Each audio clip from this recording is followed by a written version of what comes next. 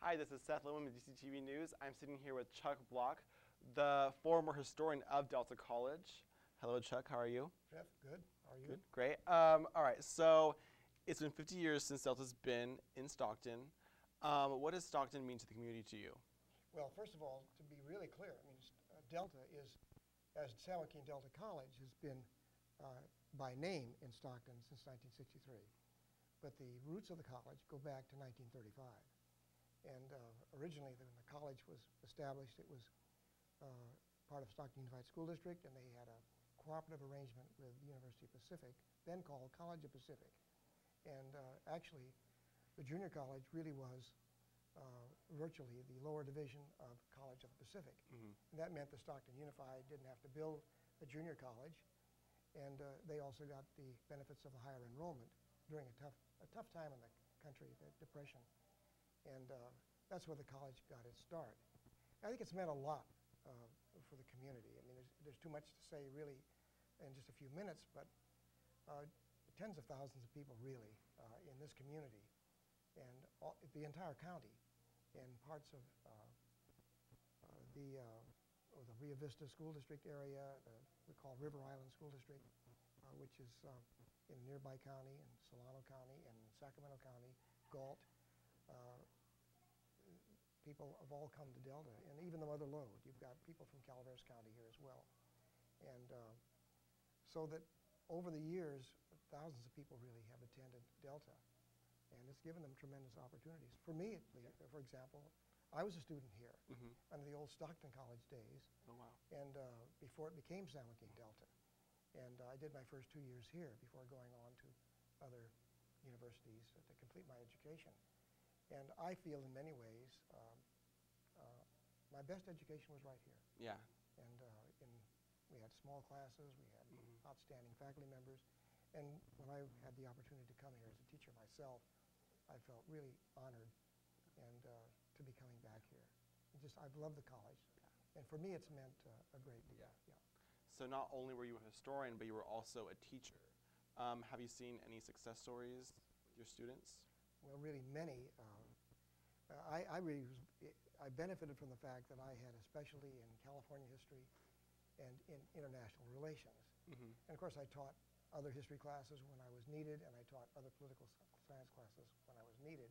Yeah. And when I think back now uh, on a question like that, um, I've actually got students who are posted overseas, who uh, work uh, uh for the United States consular offices. Uh, I have other students who work in international business and trade, and some who are working for um, uh, non, non-governmental organizations uh, throughout the world. Mm -hmm. And they started here at Delta College. And there's many people like that. Uh, we really don't uh, fully appreciate it because yeah. it's hard to track some of these students and appreciate what they've done. Mm -hmm. And uh, numerous students that I've taught in history, uh, in addition, such as California history or United States history, uh, have gone on, obviously, into teaching, into law, and to uh, some are writers, and uh, there are just many, many people who come out of Delta. One of the things that I've always hoped is that what might come out of this current 50th anniversary we're celebrating is that we reestablish uh, the recognition of our outstanding graduates. Yeah. That used to be done. And uh, somewhere along the line, I, I, don't know whether it was because of uh, the lack of organization or maybe the institutional lack of interest, that was abandoned. Mm -hmm. But that really, I think, needs to be rekindled because there's yeah. just a lot of good people here that need to be recognized that would inspire uh, students as they enroll in Delta. And now that we mentioned these new students, is there any like words of advice you would like to give them? Well, I, I know that I took full advantage of what Delta had to offer when I came here, and uh, uh, one thing that uh, uh, I feel that students miss the boat on today is that they get really worried about grade point average. Yeah. And I've noticed people, I, I, I look at oh, what people have to say who come out of Delta and, oh, I've had a 4.0 or I had a whatever I had. Um, uh, I didn't have a 4.0. Uh, I had a 3.0. And uh, the, it wasn't, uh, it, the grade you get in a class is not as important as whether you're learning something from a really good instructor. And uh, I, I've heard that students sometimes flee classes when they find out they get that first midterm Yeah. and they don't do well and they, they bail out. And I think that's a mistake. I think Yeah. sometimes you better, are you really learning, however, from that instructor? Uh, maybe that's more important. But uh, I understand the pressures that go on in society today for grade point and so on, but Mhm. uh, that I think is one mistake they make. Yeah. And the other, I think, is to, to be in a hurry to get through some kind of a specific program, some technical program or certificate program, whatever it might be, or just get the AA degree and get out. Uh-huh. Uh, I think, it, to me, it's important not only to be in your special area, say science or math or in engineering, but also to have kind of a, a broad education so that Yeah. it kind of separates you from other people Mhm. to have a, breadth to your education so Yeah. that you know something about literature and the arts Yeah. politics and history.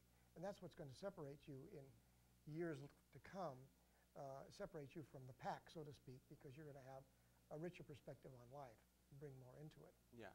And I would hope students would think about that when they come here. Mhm. And uh, I'd li- also like to see generally, I, I'm impressed, uh, I want to digress for a minute, but I work in the archive a lot here in uh, Goleman Library. And um, the, um, I get to go through the library and I go to the librarians and they, we keep it under lock and key and they let me in and, and uh, I go to work. And um, the, uh, that's all voluntary on my part. And other people come in with me who are interested in college history. And uh, I'm always impressed by the numbers of students who are in Goleman, both on the ground level and on the second floor, who are quietly studying, uh, either individually or in those group study rooms. And that really impresses me because that recalls my memories of what Yeah. Stockton College was and what Delta College was like when I left. Mhm. And for a while there, I think it kind of lost that, but I think it's coming back. Great. And, and which I, it, it's very impressive, really. So, um, is Delta's college history unique? Very unique. Uh, uh, a lot of people don't understand how unique it is. Yeah. The, uh, there's a lot to be said there. Uh, first of all, the fact that the Delta College um, was, was the way it was established. Let's begin there uh, briefly.